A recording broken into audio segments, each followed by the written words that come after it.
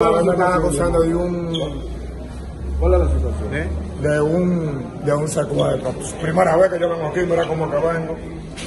Entonces, esperemos que se aclare el caso y ya. ¿Dónde ocurrió esto, Maní? Hoy ya bajo de aquí para la capital. ¿Tú eres, tú eres de Santo Domingo? Sí, de la capital. ¿Tú crees que, que quieren hacerte un daño? Claro que sí, por eso muchacho me escribió a mi portito a las 8 de la mañana en un live de Tony Prendido, que quería conocer la 42. Yo lo que soy mercadero, yo trabajo en el mercado, de lunes, de lunes a sábado, domingo para lunes, así de madrugada, porque yo lo que trabajo de madrugada. Entonces la conoce a través de las redes y ella eh, duró una semana para bajar para allá para la capital. La conocí un martes a través de Tito y bajó un domingo para allá. A las 11 y 38 de la mañana en Caribe Tour, que pueden buscar la prueba ahí, como también la devolví para atrás y no quise irse.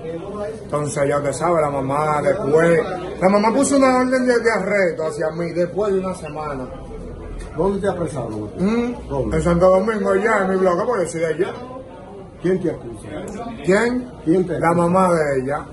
La que debe caer presa a ella, porque con una mujer, digamos, de, una muchacha con 16 años va a tener dominio. Y, ¿Tú habías tenido algún roce con esa persona? no, primera vez. ¿Tú la conoces esa persona? No, pues yo no la conocí a esa muchacha, fue primera vez. Entonces realmente yo lo que espero es que lleguemos a un acuerdo y que no me hagan un daño porque entiendo que me van a hacer daño. ¿De dónde la, la? Yo, de Santo Domingo, ella de aquí, de San Francisco. ¿Usted tuvo en comunicación vía teléfono? Ella me comunicó a mí que pueden buscar las conversaciones de su teléfono. Yo lo que quiero es que se aclare la cosa, en verdad, porque digamos que cae preso por cosas que yo no he hecho. Ella fue a donde mí, yo no vine a ser donde ella. Y me están acusando de que yo la secuestré.